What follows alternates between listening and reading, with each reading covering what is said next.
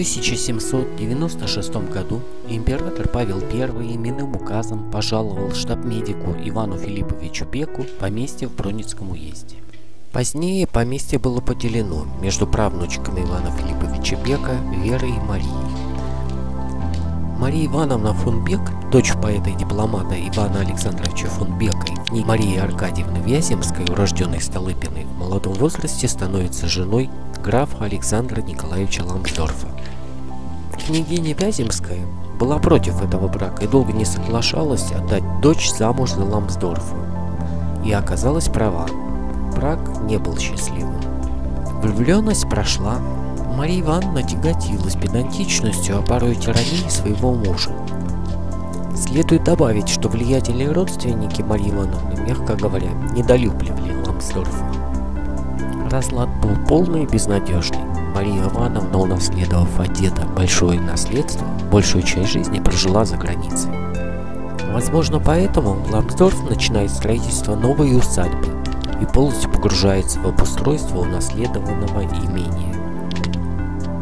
Здесь на видео хотелось бы обратить внимание, часть стены облицована изразцами, огнеупорной плиткой, но об этом речь пойдет дальше. Сейчас мы заходим в главную комнату усадьбы. Двери из главной комнаты ведут в парк.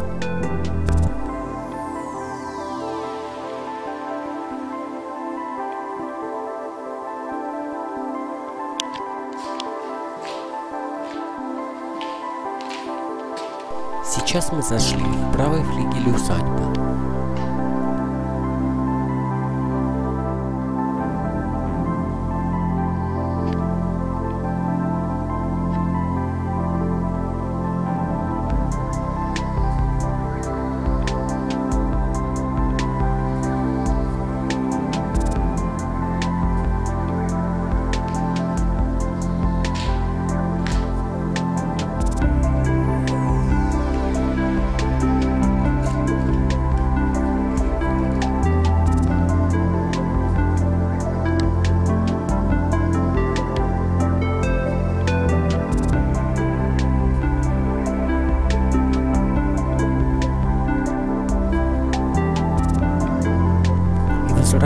Обратно через главную комнату, так как эта часть дома разрушена.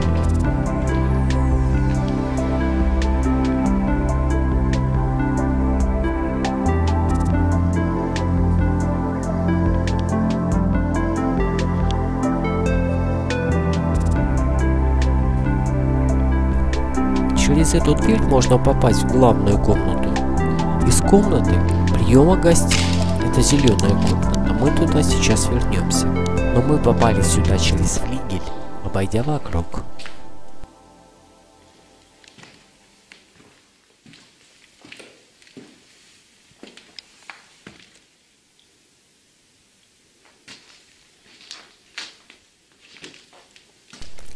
И возвращаемся опять в комнату для приема гостей.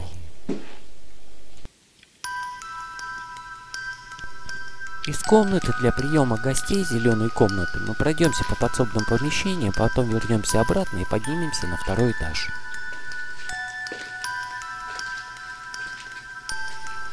При строительстве нового усадебного дома за основу была взята усадьба Елизаветы Алексеевны Арсеньевой, урожденной Столыпиной, бабушки Михаила Юрьевича Лермонтова.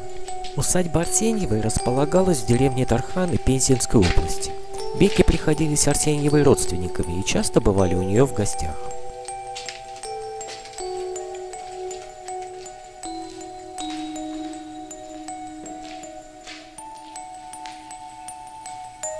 Новый дом получился комфортным, с высокими потолками и большими комнатами.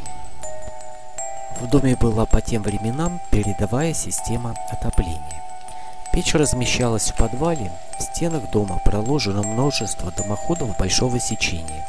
Дым обогревал здание и собирался в шахту, заканчивающуюся печной трубой. На первом этаже внешняя поверхность дымоходов облицована огнеупорной плиткой. В стенах сохранились люки для прочистки дымоходов от сажи.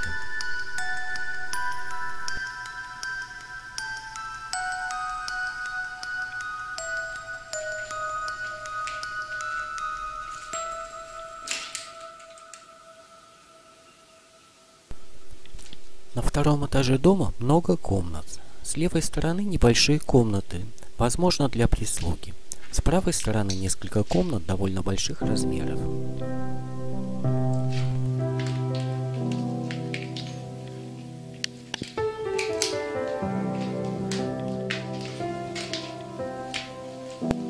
Александр Николаевич Ламсдорф прожил в усадьбе до смерти в 1902 году. Рядом с домом он построил пивной завод, занимался пивоварением и выращиванием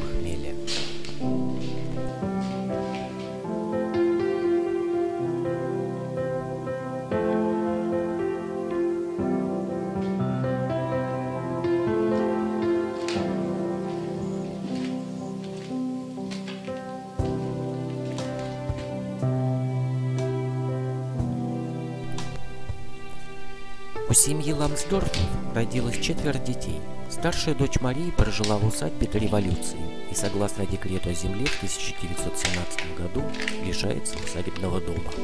Так как в распоряжение властных земельных комитетов передавались не только земли, но и усадебные постройки.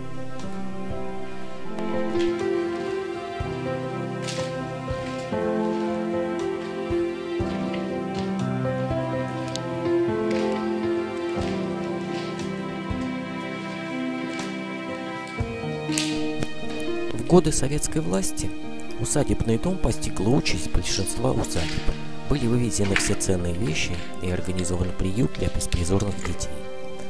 Позже в доме работала семилетняя школа. В годы войны был госпиталь, ну а после войны – дом отдыха, пионерский лагерь и дом культуры. Дом имеет уже довольно потрепанный вид и статус федерального владения. Судя по всему, доживает свой век, лучшие годы этого здания остались в прошлом.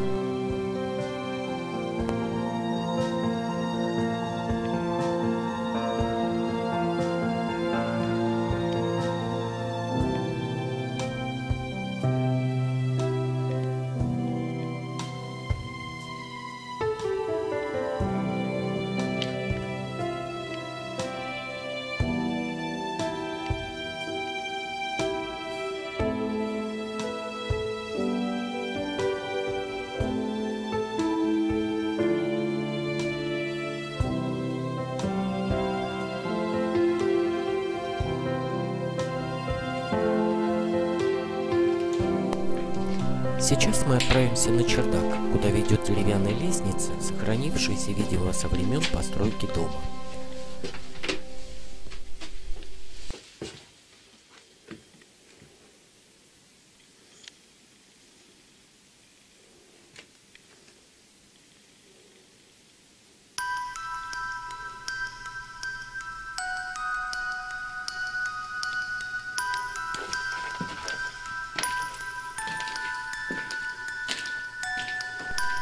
Мы прошли по всему зданию, и на этом экскурсия по усадебному дому Александра Николаевича Лансдорфа закончится.